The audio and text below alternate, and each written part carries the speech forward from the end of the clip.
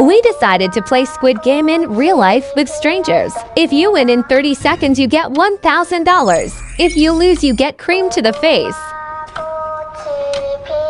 She tries to get it off. OMG, she is lucky. I think she's going to lose. My guy is ready with the cream. So close. So close. OMG, she did it and won $1,000.